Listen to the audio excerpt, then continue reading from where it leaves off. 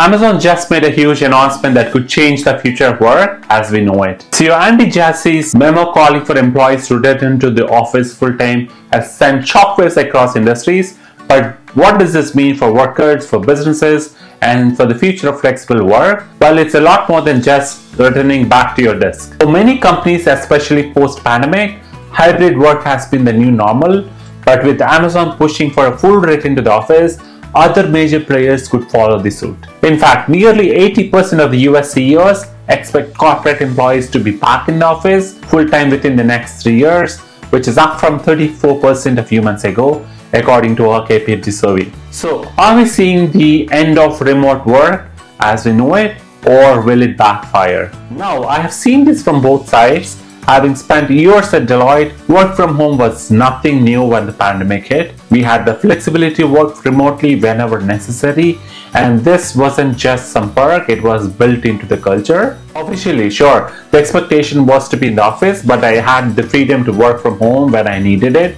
and that made all the difference. In the US, the kind of flexibility isn't unique at Deloitte. In fact, many companies had work from home arrangements long before COVID. But here's the thing they didn't always advertise it. Now, asking people who have been working remotely for years to suddenly return to the office full time feels like a step backward and it backs the question is this the right move?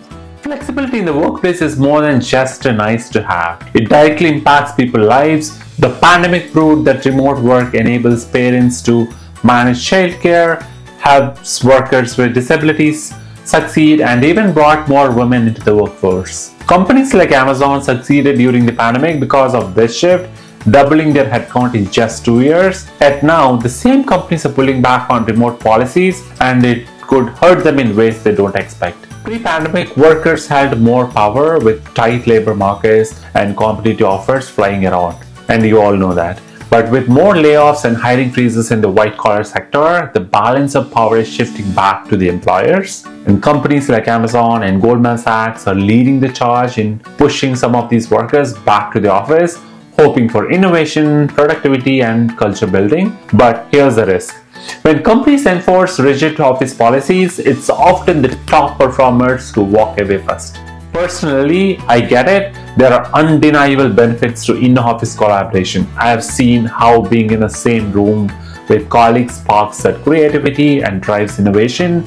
You can enjoy those chai churchas and everything. You could have fun lunches, but flexibility is what really matters. During my years in talent acquisition, I've seen how offering remote options help companies attract and retain the top talent Forcing a full-time office return could drive away the very employees businesses need the most, especially mid-level professionals, parents, and those with long commutes. So what's the real impact of Amazon's decision? Some executives are watching closely wondering if Amazon will lose talent or gain a competitive edge. And as posted on social media, one of the systems development manager at Amazon have already started looking for jobs elsewhere after the announcement was made.